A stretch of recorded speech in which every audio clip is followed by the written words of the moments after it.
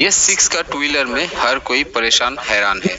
आखिर ये check engine एरल light है क्या बला क्यों ये ऑन हो जाता है? और सबसे ज़्यादा इम्पोर्टेंट का बात है, इस लाइट को ऑफ़ कैसे किया जाता है? वेलकम टू दोस्तों हमारे चैनल और ऑटोमोटिव में। ये है Yamaha Ray Z R B S six variant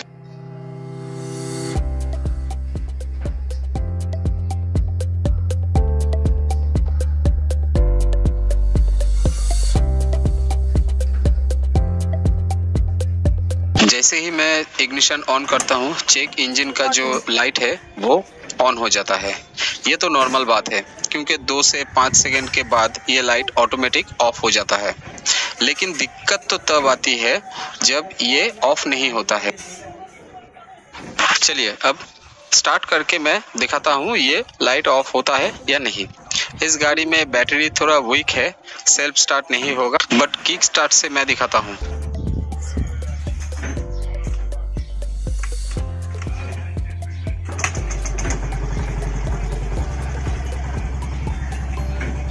गाड़ी स्टार्ट होने पर भी ये लाइट ऑफ़ नहीं हो रहा है। एक दो बार मैं और ट्राई करके देखता हूँ।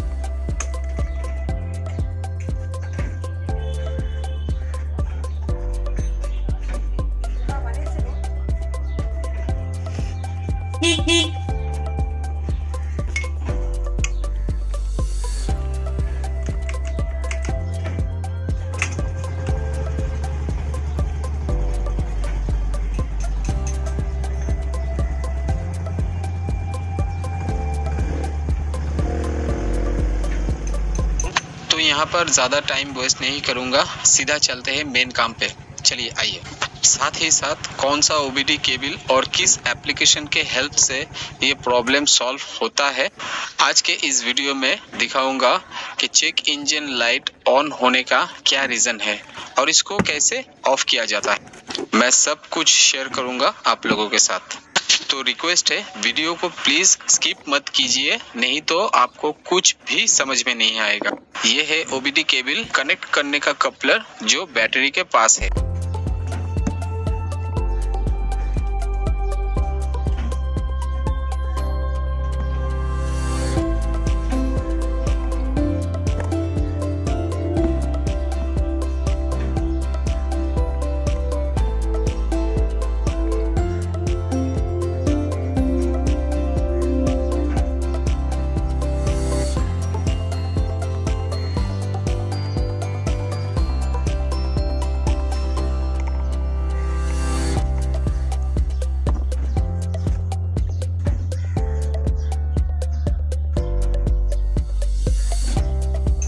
ये है ओबीडी केबल। ये है ईएलएम ब्लूटूथ और ये है फीमेल कपलर जो मेल कपलर में लगेगा, जो गाड़ी में अटैच रहता है। इस ओबीडी केबल का खास बात यह है, एक केबल थ्री ब्रांड के टू व्हीलर में यूज़ हो सकता है। तो आप लोगों को अलग अलग करके थ्री केबल परचेस करना ज़रूरी नहीं है।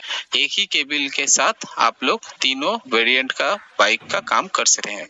ओबीडी केबल एंड ब्लूटूथ का buying link already description box में है। आप चाहे तो परचेस कर सकते हैं।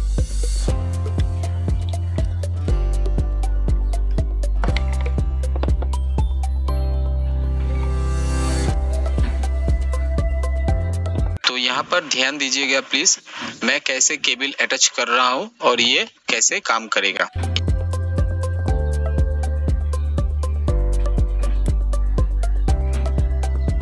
ये रेड कलर का लाइट ऑन होने का मतलब है, केबल सही तरीके से अटैच हो गया है।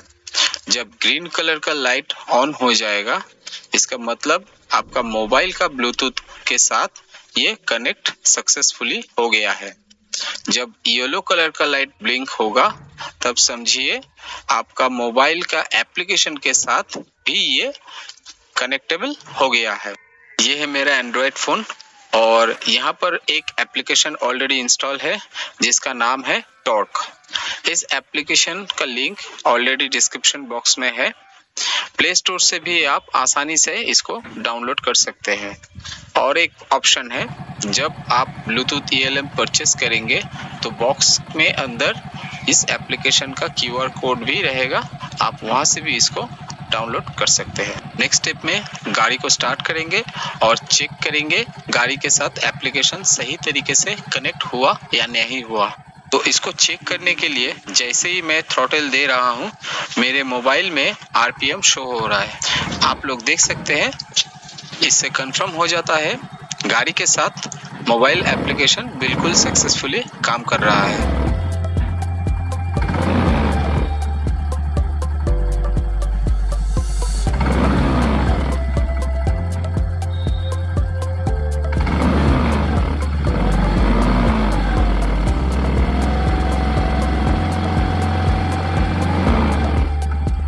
नेक्स्ट स्टेप में चेक करेंगे इंजन एरर लाइट क्यों शो कर रहा है।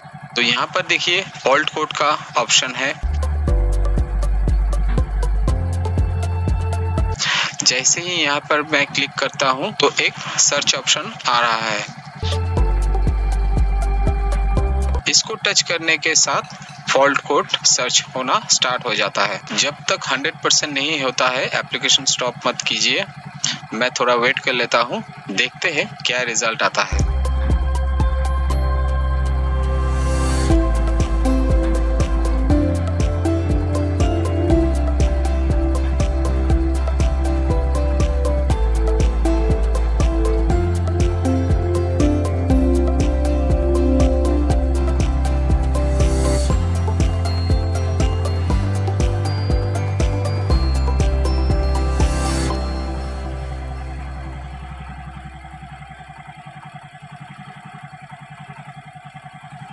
यहाँ पर फॉल्ट कोड सर्च का रिज़ल्ट आ गया है।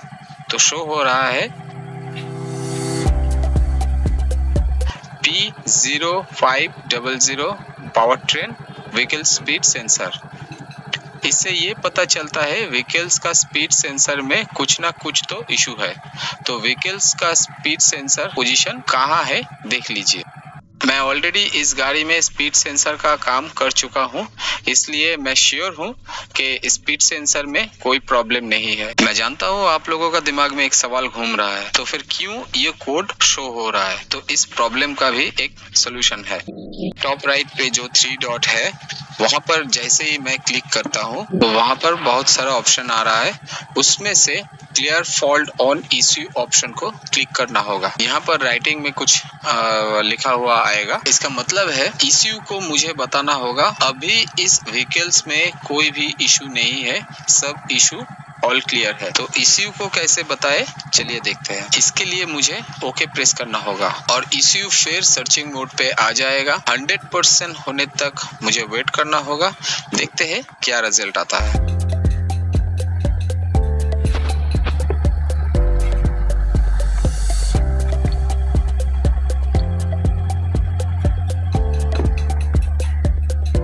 सकते हैं। यहाँ पर चेक इंजन का जो एरर लाइट है, वो ऑफ़ हो गया है।